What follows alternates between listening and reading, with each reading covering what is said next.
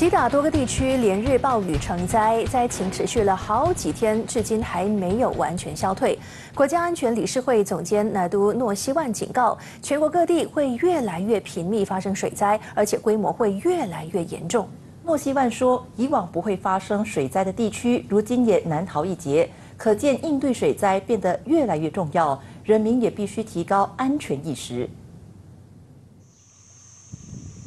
饱受大规模水灾肆虐的吉打，灾情还没有完全消退，至今还有两百多人在临时救灾中心避难。国安会总监诺西万预告，未来全国各地爆发水灾只会越来越频密和严重。Kita nampak kan sekarang ni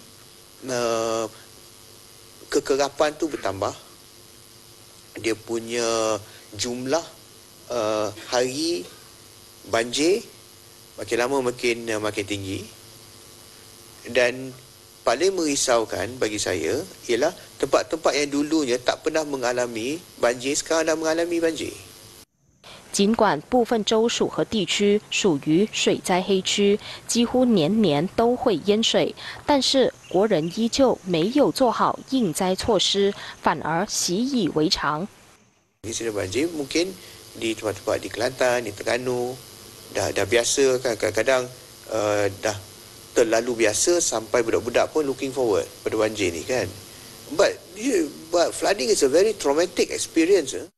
诺希万透露， 手下拿督斯里安华高度关注水灾课题，也一再强调必须优先关注全国治水工程，并在二零二四年财政预算案拨款一百一十八亿令吉，在全国落实三十三项治水计划。但除了治水，提高人民的安全意识也相当重要。他说：“目前国安会透过国家安全指数评估国家各方面的安全指标，其中就包括水灾。如果没有国安指数作为参考，就很难推动国安警觉意识。他希望国人多了解国家在各方面的挑战，以便更有效应对水灾和各种情况。”